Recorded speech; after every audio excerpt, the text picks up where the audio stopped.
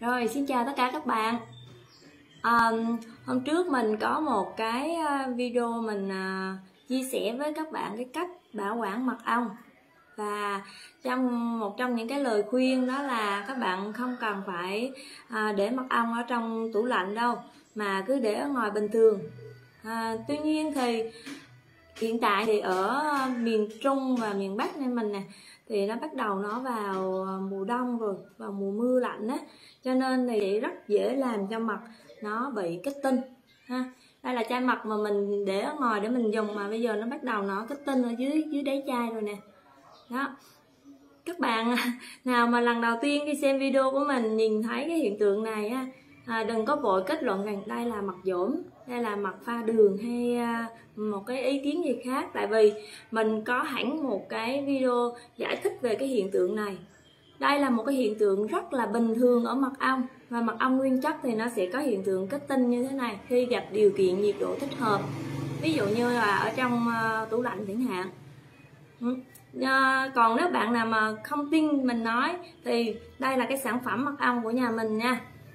Mật ong rừng an lão BCT và cái cái sản phẩm này mình đã có các cái giấy tờ kiểm định đàng hoàng chứ không phải là cái chăm kết suông là mật ong nguyên chất. Cho nên mình khẳng định đây là một sản phẩm mật ong nguyên chất và nó có hiện tượng kết tinh ha. Đây là một cái hiện tượng bình thường ở mật ong nên các bạn đừng có lo lắng khi gặp hiện tượng này. Và hôm nay á mình sẽ hướng dẫn các bạn cách xử lý cái cái hiện tượng này. Thì khi mình gặp cái uh, cái kết tinh như thế này gọi là hay mình còn hay gọi là đóng đường ấy thì làm cách nào để cho nó trở lại cái dạng mật như ban đầu? Rất đơn giản thôi mình chỉ cần cho nó làm nóng cái phần này lên thì nó sẽ tan ra. Mà cái cách làm nóng thì đừng có làm nóng đột ngột quá mà mình hãy làm như sau. Mà lấy một cái cái cốc hay là một cái gì có thể đựng được nước nóng. Rồi đây các bạn sẽ cho nước nước, à, nước nóng vào nha. Cái này là nước sôi mình nấu từ đêm hôm qua rồi nên nó chỉ còn tương đối nóng thôi. Còn nước sôi thì mình sợ nó nó nứt chai đó. Rồi.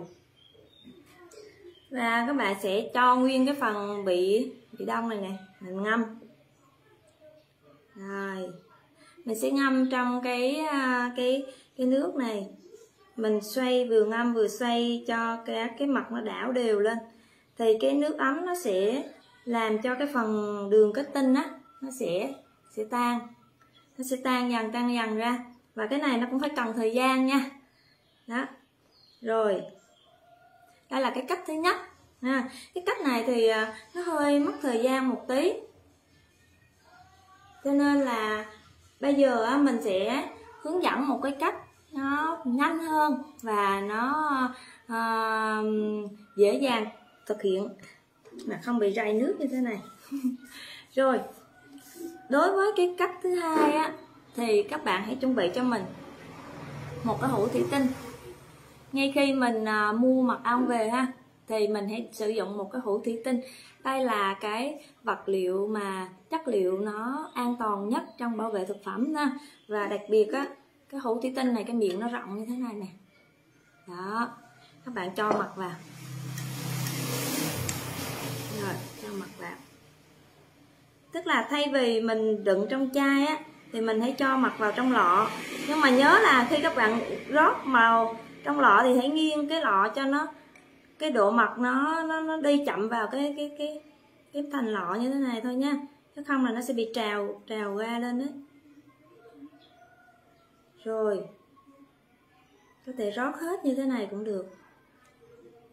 Đó.